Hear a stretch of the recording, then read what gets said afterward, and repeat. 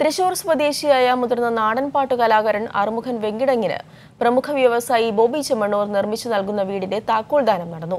വെങ്കിടങ്ങിൽ അറുമുഖന്റെ വീട്ടുമുറ്റത്ത് നടന്ന ചടങ്ങിൽ ബോബി ചെമ്മണ്ണൂർ താക്കോൽ കൈമാറി. കലാഭവൻ മണിയുടെ ഹിറ്റായി മാറിയ പല നാടൻപാട്ടുകളും എഴുതിയത് അറുമുഖൻ വെങ്കിടങ്ങായിരുന്നു.